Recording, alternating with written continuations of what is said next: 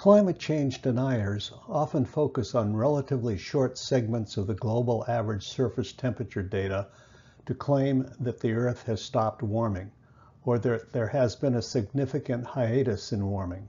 So it must be the case that the influence of human activities on the climate is small or non-existent. The reality is that relatively short-term weather phenomena such as El Nino and La Nina patterns can influence global temperatures. They can produce short spans of data that appear flat, but in the long run don't change the fact that the planet is warming. Proponents of these arguments are falling victim to wishful thinking, or what I call the staircase fallacy. The two charts on the left show the global average surface temperatures from the late 1800s to now. The top chart shows data from NASA, while the bottom chart shows data from the Japan Meteorological Agency. While they are not identical, they are still in very good agreement. If you look carefully, you can find some spots where the global average surface temperatures appear not to change much for a few to several years. However, the long-term trend in both data sets shows that global average surface temperature indeed has been rising since the late 19th century.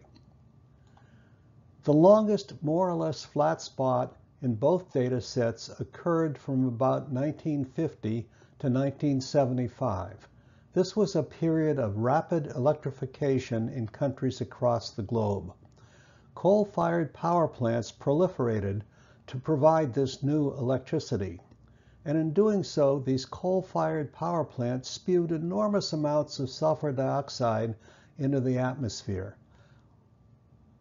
When the sulfur dioxide combined with water vapor in the atmosphere, it produced copious amounts of very fine sulfate particulates that reduced the amount of sunlight reaching the surface of the Earth. So even though the amount of CO2 and other greenhouse gases were increasing during this period, global temperatures did not increase. Because of the enormous amounts of air pollution emitted by these coal-fired power plants, governments eventually required them to be fitted with scrubbers to significantly reduce the amount of sulfate particulates entering the atmosphere. When those were in place, global temperatures began to rise again, pretty much in correlation with the amount of CO2 being emitted into the atmosphere, as shown in the chart, on the right. The heavy black line in the upper temperature chart and the heavy blue line in the lower temperature chart are running averages of the yearly temperature data.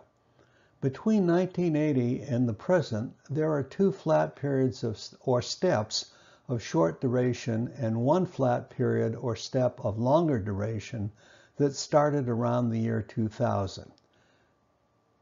This step of about eight years duration was sized upon by climate change deniers to claim that there was a pause or hiatus in global warming. It was at this point that they fell into the trap of what I call the staircase fallacy. They assumed that this step was the highest step in the staircase without waiting to see if this step was truly the highest or if another higher step might be in the future.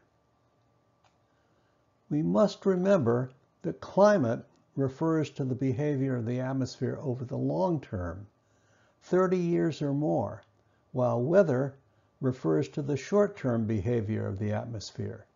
Weather phenomena such as El Niños and La Niñas can persist for several years, and they can affect global average surface temperatures in the short run, but they are not climate, they are weather.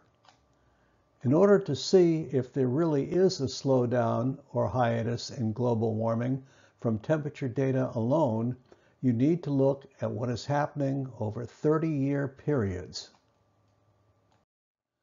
30 years clearly is a long time to wait to determine if the climate is beginning to stabilize. And it's legitimate to ask if there's some quicker way to determine if global warming is slowing down. In my view, the Keeling curve shown here that charts the CO2 level in the atmosphere is likely to provide the first indication of the climate beginning to stabilize. If the Keeling curve starts to flatten out, that most likely would be our first clue. That doesn't mean that global average temperatures would fall suddenly back to pre-industrial levels because the lifetimes of greenhouse gases in the atmosphere can be as long as a century. What it likely would mean is that the global temperature increase is beginning to slow down. So far, there is no indication at all that the rate at which we are putting CO2 in, into the atmosphere is slowing down. Thus, any pause in climate change likely is a long time away. Thanks for watching. Please take some time to watch my other climate videos.